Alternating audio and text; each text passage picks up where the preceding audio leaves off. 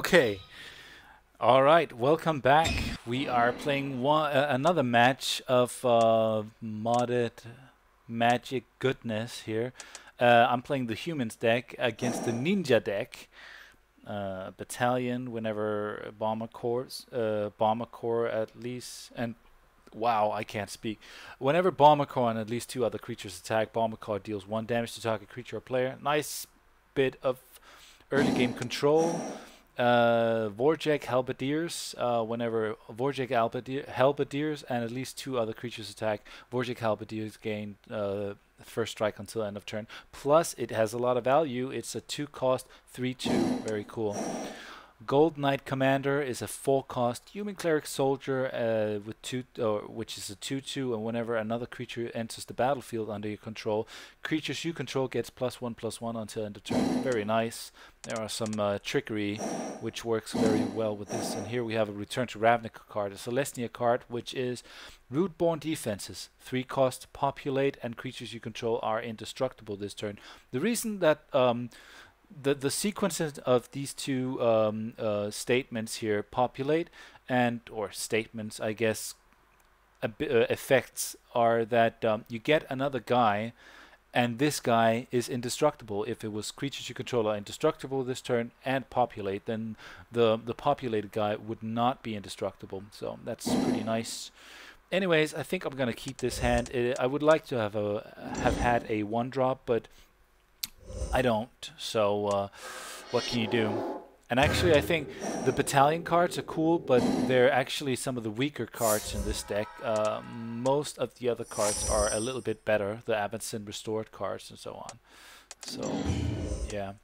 And I drew the Increasing Devotion, which is a 5 cost, put 5 1 1 white human creature tokens onto the battlefield. If increasing, uh, increasing Devotion was cast from the graveyard, put 10 of those tokens onto the battlefield instead, and that cost um, 9.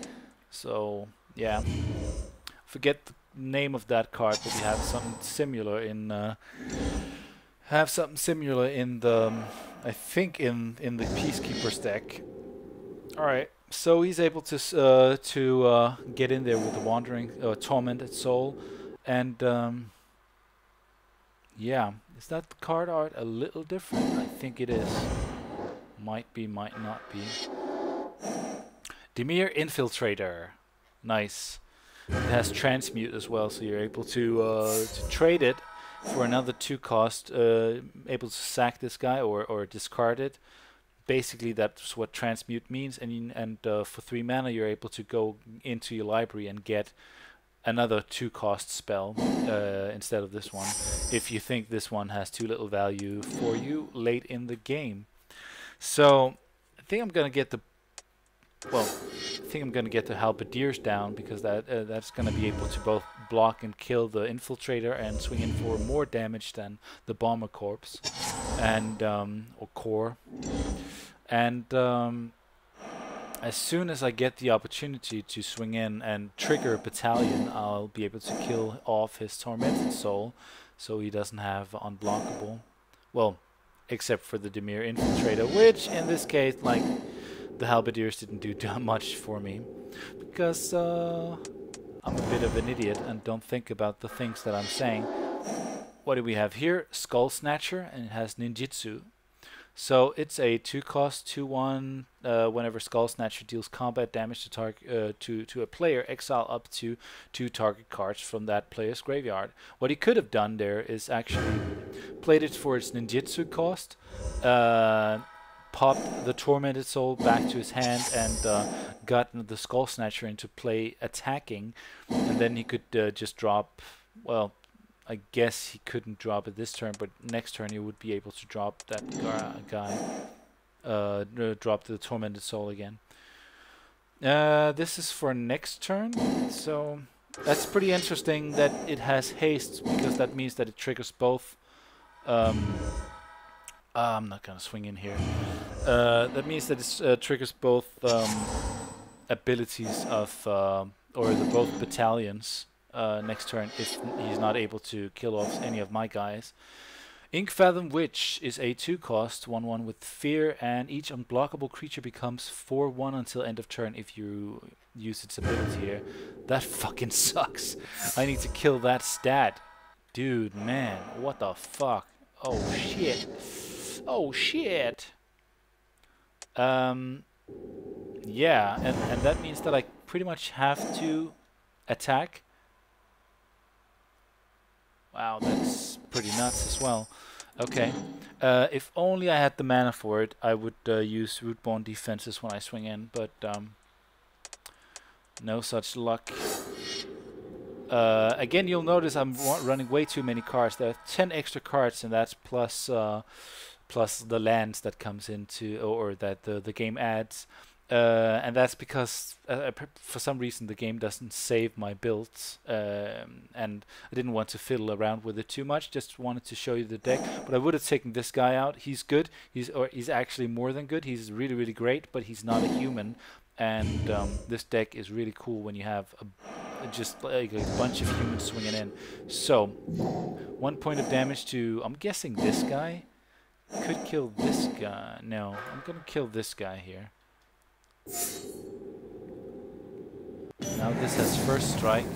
So he has to, if he wants to block, he has to um, use his Skullsnatcher on the Bomber Corpse, or Core. Next turn I can uh, cast Increasing Devotion. Oh, nice. That means that I get to swing in uh, for a bunch next turn.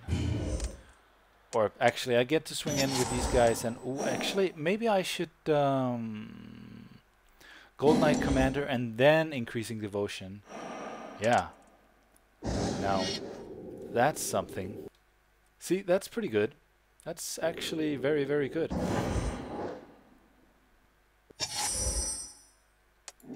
What do we have here? Uh, Riot Ringleader. Okay. When Riot Ringleader attacks human uh, creatures you control gets plus one plus zero until end of turn. That's not bad either. I think... Let's see what happens. Um, he might kill off my bomber corpse. Core, not corpse. Kill this, this guy. And... Um, yeah, he might block this, even though Holy bananas. Alright, hold on. Okay, and I'm back, and that was the weirdest phone call ever, but um, oh well.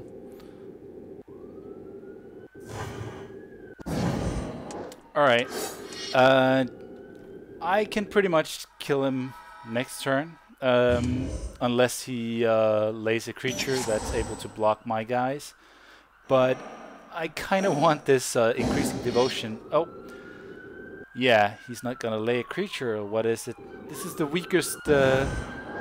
Shut the hell up out there. Alright. I'm in the kitchen right now, so I'm much closer to the main street uh, that we live close by. Alright, let's try this on for size. And... Yeah, not bad. This guy is actually like this this combination is actually completely nuts. And he's not able to block a single one of them. Uh, if I were to swing in more than just this time, this guy would pretty much just completely slaughter my opponent. And bam. Well, thanks for watching. I'm Multeyemeteor and this was um, this was a weird, uh, weird little uh, video. So I hope you enjoyed. Later.